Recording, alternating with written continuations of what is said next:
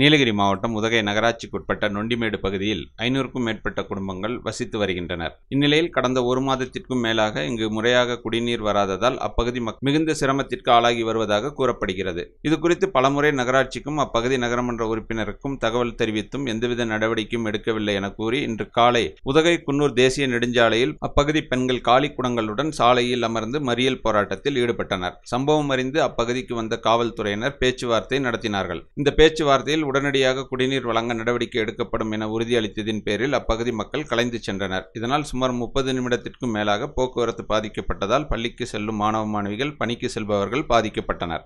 Vivo V30 series. Be the pro. Bajaj finance வசதி உண்டு. A shop where your shopping never ends.